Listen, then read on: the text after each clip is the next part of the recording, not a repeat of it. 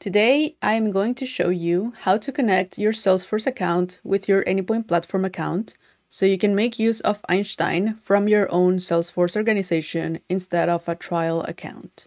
Inside your Salesforce setup, go into MuleSoft and then Anypoint Platform Setup.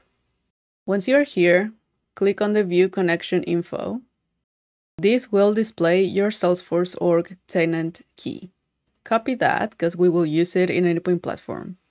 Now head to your Anypoint Platform account.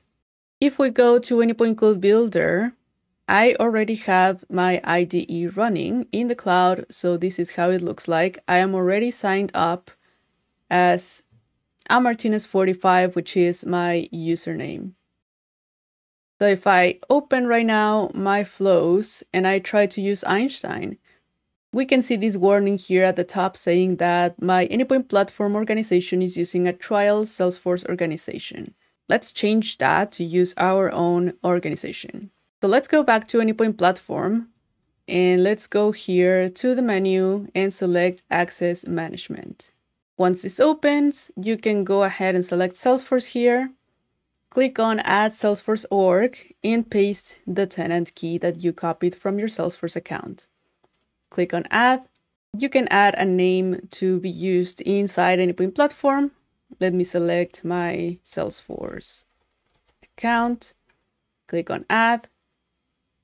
Now we have an Anypoint platform org key. Let's copy this, head back to your Salesforce account and paste it right here.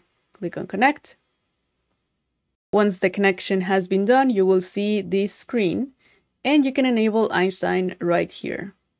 You can now close this window and head back to your Anypoint platform where you can also close this. Let's refresh so we can see the capabilities.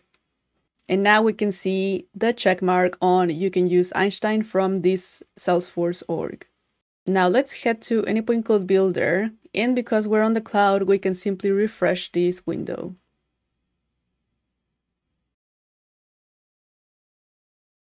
Once it finishes loading, let's go ahead and click on the Agentforce button once again. And we can now see that we are using the same chat, but now we don't have the warning at the top.